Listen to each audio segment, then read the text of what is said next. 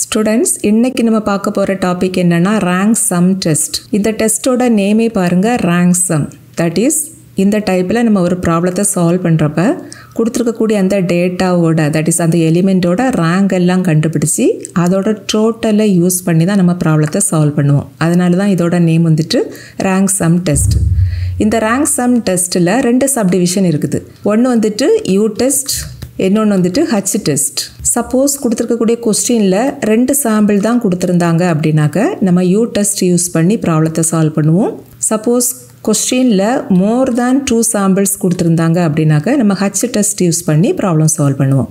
மற்றபடி ப்ரொசீஜர் எல்லாம் ரெண்டு டைப்புக்கும் மொராரில் சேம் போல தான் இருக்கும். ஓகே இந்த யூ டெஸ்ட்டை மான் விட்னி யூ டெஸ்ட்னு சொல்லுவோம். அண்ட் எல்லா டெஸ்ட்டையும் போல தான் இந்த யூ டெஸ்ட்லேயும் ரெண்டு விதமான ப்ராப்ளம்ஸ் இருக்கும். ஒன்று வந்துட்டு ஸ்மால் சாம்பிள் இன்னொன்று வந்துட்டு லார்ஜ் சாம்பிள் இந்த மேன் ஒயிட்னி யூ டெஸ்ட்டில் ஒரு ப்ராப்ளத்தை நம்ம ஸ்மால் சாம்பிள் அப்படின்னு சொல்லணும்னா என் ஒன் அண்ட் என் டூவோட value less than or equal to டென்னாக இருக்கணும்.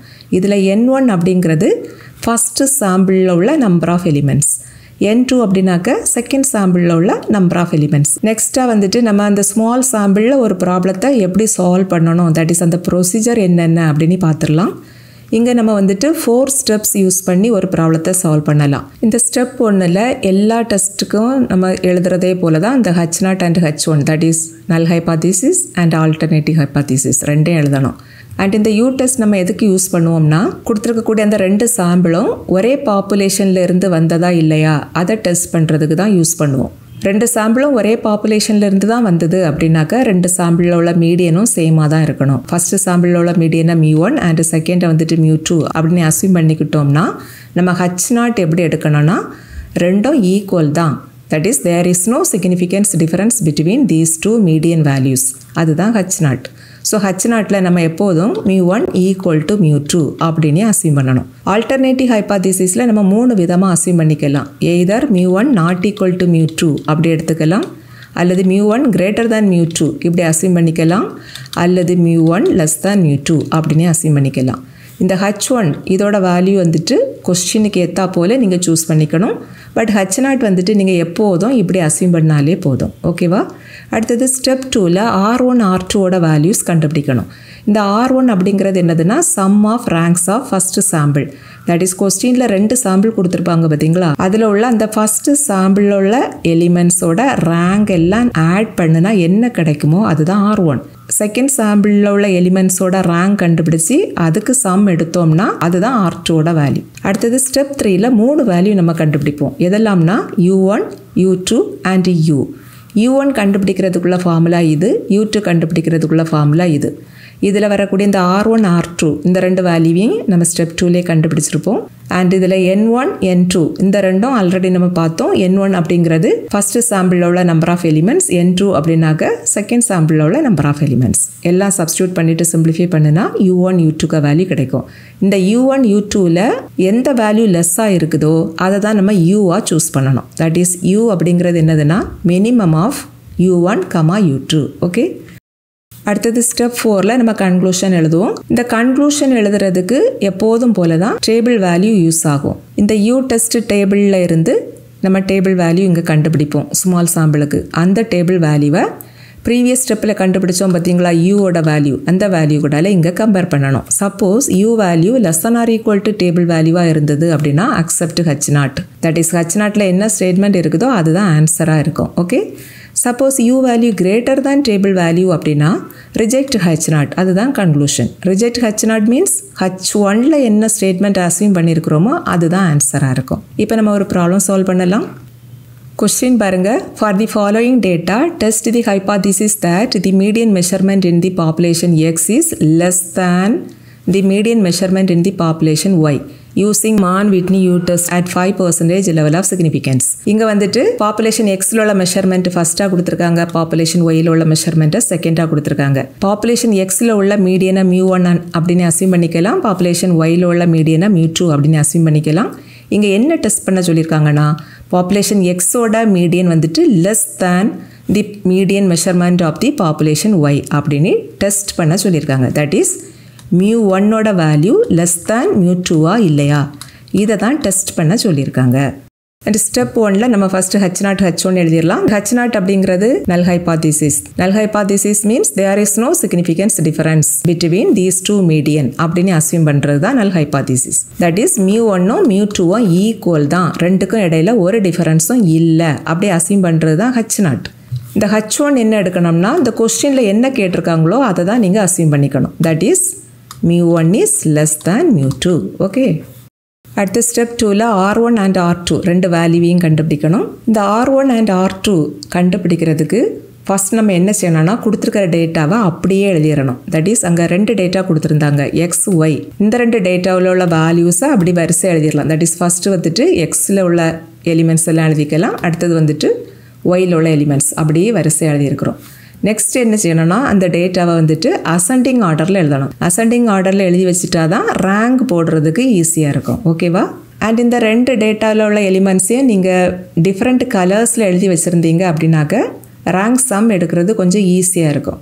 இதில் ரெட் கலரில் இருக்கக்கூடிய இவ்வளோ எலிமெண்ட்ஸும் தான் எக்ஸில் உள்ள எலிமெண்ட்ஸ் அடுத்த ப்ளூ கலரில் இருக்கக்கூடிய இவ்வளோ எலிமெண்ட்ஸும் வந்துட்டு ஒயில் உள்ள எலிமெண்ட்ஸ் இதில் ரொம்ப சின்ன நம்பர் அப்படின்னா இந்த எயிட் தான். ஸோ இந்த எயிட்டை நம்ம ஃபஸ்ட் எழுதிடணும். தட் இஸ் இங்கே ப்ளூ கலரில் இருக்கக்கூடிய நம்பர்ஸ் எல்லாம் இங்கே நம்ம ப்ளூ கலரில் எழுதிடலாம். ரெட் கலரில் இருக்கக்கூடிய எலிமெண்ட்ஸ் எல்லாத்தையும் இங்கே ரெட் கலரில் எழுதிடலாம். அப்போ தான் நமக்கு வசதியாக இருக்கும்.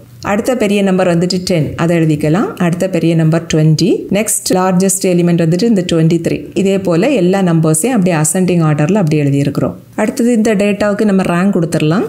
யூஸ்வலாக ரேங்க் போடுறப்ப என்ன செய்வாங்க? டோட்டல் கூடுதலாக இருக்கிறவங்களுக்கு தான் ஃபர்ஸ்ட் ரேங்க் கொடுப்பாங்க. இங்கே அப்படி கிடையாது. ரொம்ப சின்ன நம்பர் அதுக்கு தான் நம்ம ரேங்க் ஒன் கொடுக்கணும். அதுக்கப்புறம் அப்படி அசண்டிங் ஆர்டரில் ரேங்கை இன்க்ரீஸ் பண்ணிகிட்டே போகணும். இதில் உள்ள அந்த சின்ன நம்பர் எயிட் தானே அதுக்கு தான் ரேங்க் ஒன் கொடுக்கணும்.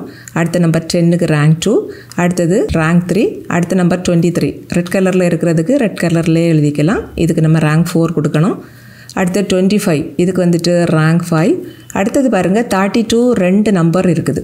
ஸோ இந்த ரெண்டு நம்பருக்கும் நம்ம ஒரே ரேங்க் தான் கொடுக்கணும். ஃபிஃப்த் ரேங்குக்கு அடுத்தது சிக்ஸ்த் ரேங்க் வரும். இதுக்கு சிக்ஸ் இதுக்கு செவன் தான் ஆக்சுவலி பட் இந்த ரெண்டும் சேமாக இருக்கிறதுனால இந்த சிக்ஸ் அண்ட் செவனுக்கு ஆவரேஜ் வேல்யூ அதை தான் இந்த ரெண்டு எலிமெண்ட்டுக்கும் நம்ம ரேங்காக கொடுக்கணும். ஓகேவா சிக்ஸ் அண்ட் செவனோட ஆவரேஜ்னா சிக்ஸ் பாயிண்ட் ஃபைவ் ஸோ இந்த தேர்ட்டி டூக்கு சிக்ஸ் பாயிண்ட் ஃபைவ் கொடுக்கணும். இந்த தேர்ட்டி டூக்கும் சிக்ஸ் பாயிண்ட் ஃபைவ் கொடுக்கணும். அடுத்த நம்பர் ஃபார்ட்டி ஃபைவ் இந்த வேல்யூக்கு வந்துட்டு செவன் கொடுக்கக்கூடாது. இந்த செவனுக்கு அடுத்த நம்பர் எயிட் தானே. அந்த எயிட்டை தான் இங்கே கொடுக்கணும். தென் அடுத்த பெரிய நம்பர் ஃபிஃப்டி ஃபோரா அதுக்கு ரேங்க் நைன் அடுத்த பெரிய நம்பர் சிக்ஸ்டி அதுக்கு ரேங்க் டென் அண்ட் அந்த லாஸ்ட் நம்பர் சிக்ஸ்டி ஃபைவ்க்கு ரேங்க் லெவன் இங்கே நமக்கு லெவன் எலிமெண்ட்ஸ் இருக்குது. ரேங்கும் ஒன்லேருந்து லெவன் வரைக்கும் இருக்குது. ஓகே அடுத்தது நம்ம ஆர் ஒன் வேல்யூ கண்டுபிடிக்கலாம். அந்த டேட்டாவில் எக்ஸில் உள்ள எலிமெண்ட்ஸ் அதோட ரேங்க் எல்லாம் தான் நம்ம வந்துட்டு இங்கே ரெட் கலரில் எழுதியிருக்கிறோம். ஒயில் உள்ள ரேங்க்ஸ் அதை வந்துட்டு ப்ளூ கலரில் எழுதியிருக்கிறோம். ஸோ ஆர் ஒன் கண்டுபிடிக்கிறதுக்கு நம்ம என்ன செய்யணும்னா இந்த four six point five eight and ten இந்த நாலு வேல்யூஸையும் ஆட் பண்ணணும். ஸோ ஆர் ஒன்னோட வேல்யூ டுவெண்ட்டி எயிட் பாயிண்ட் ஃபைவ்னு கிடைக்கும். அடுத்தது ஆர் டூ அப்படின்னாக்க இந்த ஒய் அப்படின்னு ஒரு டேட்டா கொடுத்துருந்தாங்க பார்த்தீங்களா அந்த டேட்டாவோட ரேங்கோட சம் இதெல்லாம் வந்துட்டு இங்கே ப்ளூ கலரில் இருக்குது.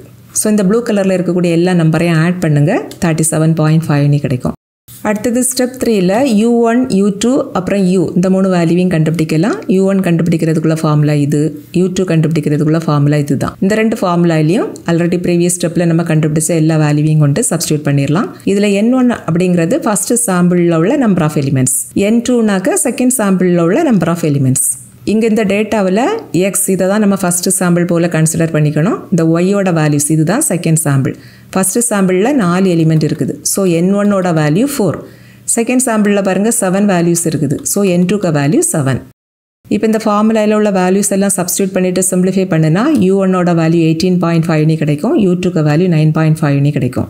இந்த ரெண்டு வேல்யூவில் ஸ்மாலஸ்ட் வேல்யூனா இந்த நைன் பாயிண்ட் ஃபைவ் தான்.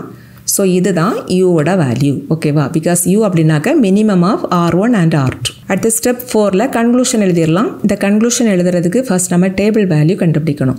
இந்த டேபிள் வேல்யூ கண்டுபிடிக்கிறதுக்கு என் ஒன்றுக்கு வேல்யூ வேணும் என் டூக்கு வேல்யூ வேணும் லெவல் ஆஃப் சிக்னிஃபிகன்ஸ் வேணும் அண்ட் ஆல்சோ ஒன் டெய்ல்டா டூ டெய்ல்டா அதுவும் வேணும். இங்கே level of significance five percentage அப்படின்னு கொஸ்டின்லேயே கொடுத்துருக்காங்க. யூஸ்வலாக கொஸ்டினில் one percentage or five percentage level of சிக்னிஃபிகன்ஸ்னு கொடுப்பாங்க. ஒன்றுமே கொடுக்கலன்னா ஃபைவ் பர்சன்டேஜ் அப்படின்னு எடுத்துக்கணும். ஓகே அண்ட் இந்த கொஸ்டினில் ஹச் ஒன் வந்துட்டு நம்ம என்ன assume பண்ணியிருக்கிறோம்னா mu one less than mu two that is இங்கே வந்துட்டு சிம்பிள் லெஸ் தேன் இப்படி symbol less than or greater than இப்படி இருந்ததுன்னா இதை நம்ம வந்துட்டு ஒன் டெய்ல்டு அப்படின்னு சொல்லுவோம். Suppose not equal to symbol இருந்தது அப்படின்னா அது வந்துட்டு டூ டெய்ல்டு இது எப்போதும் போல தான் ஆல்ரெடி நீங்கள் செகண்ட் செம்மிலேயே டெஸ்டிங் ஆஃப் ஹைப்பாத்திசிஸில் படிச்சிருக்கீங்க. அதே போல தான் இங்கேயும். இங்கே வந்துட்டு லெஸ் தேன் சிம்பிள் இருக்கிறதுனால இது வந்துட்டு ஒன் டெய்ல் இப்போ நம்ம வந்துட்டு ஃபைவ் பர்சன்டேஜ் ஒன் டெய்லுக்குள்ள டேபிள் வேல்யூவை கண்டுபிடிக்கணும். அண்ட் இந்த யூ டெஸ்ட் டேபிள் வேல்யூ வந்துட்டு இப்படி தான் இருக்கும் ஒன் டெய்ல்டுக்குள்ள டேபிள் வேல்யூ தனியாக இருக்கும். இதே போல் டூ டெய்ல்டுக்குள்ள டேபிள் வேல்யூஸும் தனியாக இருக்கும். But five percentage and one percentage ரெண்டு லெவல் ஆஃப் சிக்னிஃபிகன்ஸுக்கும் சேம் டேபிள் தான். இதில் ஒவ்வொரு ரோலையும் பாருங்கள் ஃபஸ்ட்டாக வந்துட்டு point zero five point zero one அப்படின்னு கொடுத்துருக்காங்க பார்த்தீங்களா பாயிண்ட் ஜீரோ ஃபைவ்னா ஃபைவ் பர்சன்டேஜ் பாயிண்ட் ஜீரோ ஒன்னுனா ஒன் பர்சன்டேஜ் இங்கே வந்துட்டு என் ஒன்னோட வேல்யூ ஃபோர் என் டூவோட value seven level of significance five and also one tailed தான். தட் இஸ் இங்கே வந்துட்டு என் ஒன்றுக்கு வேல்யூ ஃபோர் என் டூக்கு value seven and level of significance வந்துட்டு five percentage so table value எப்படி கண்டுபிடிக்கணும்னா ஃபர்ஸ்ட் ரோல் இங்கே இருக்குது பாருங்கள் இந்த வேல்யூஸ் வந்துட்டு என் ஒன்னோட வேல்யூஸ் அண்ட் ஃபஸ்ட்டு காலமில் இருக்கக்கூடிய இந்த வேல்யூஸ் வந்துட்டு என் டூவோட வேல்யூஸ் ஸோ ஃபஸ்ட்டு ரோவில் ஃபோருங்கிற நம்பரை பாருங்கள் அது இங்கே இருக்குது. அண்ட் ஃபஸ்ட்டு காலமில் செவன் அப்படிங்கிற நம்பர் இங்கே இருக்குது. ரெண்டை இன்டர்செப்ட் பண்ணுற பிளேஸில் தான் நமக்கு டேபிள் வேல்யூ இருக்கும். இதில் ரெண்டு வேல்யூ இருக்குது பார்த்தீங்களா இதில் உள்ள இந்த ஃபர்ஸ்ட் வேல்யூ இதுதான் ஜீரோ பாயிண்ட் ஜீரோ ஃபைவ்க்கு உண்டான table value that is five பர்சன்டேஜுக்கு உண்டான table value suppose question one percentage அப்படின்னு கொடுத்துருந்தாங்கன்னா இந்த பாயிண்ட் ஜீரோ ஒன்றுக்கு நேராக இருக்கக்கூடிய இந்த ஒன்றை நம்ம டேபிள் வேல்யூவாக எடுத்துக்கணும். ஓகேவா இங்கே ஃபைவ் பர்சன்டேஜ் அப்படிங்கிறதுனால தான் இந்த ஃபோரை வந்துட்டு நம்ம டேபிள் வேல்யூவாக எடுத்துக்கணும். ஓகே தட் இஸ் இங்கே வந்துட்டு டேபிள் வேல்யூ வந்துட்டு ஃபோர் இப்போ நம்ம வந்துட்டு இந்த டேபிள் வேல்யூ கூடால யூவோட வேல்யூவை கம்பேர் பண்ணணும். இங்கே யூவோட வேல்யூ நைன் பாயிண்ட் ஃபைவ் இது வந்துட்டு டேபிள் வேல்யூவோட கிரேட்டராக இருக்குது. That is U value is greater than table value therefore reject H naught reject H naught means H ஒன்ல நம்ம என்ன ஸ்டேட்மெண்ட் அசியூம் பண்ணியிருந்தோமோ அதுதான் ஆன்சராக இருக்கும். இந்த ப்ராப்ளத்தில் நம்ம ஹச் ஒன் என்ன அசியூம் பண்ணியிருக்கிறோம் பாருங்க. Mu one is less than mu டூன்னு அசியூம் பண்ணியிருக்கிறோமா? ஸோ இதுதான் answer hence mu one is less than mu two ஓகேவா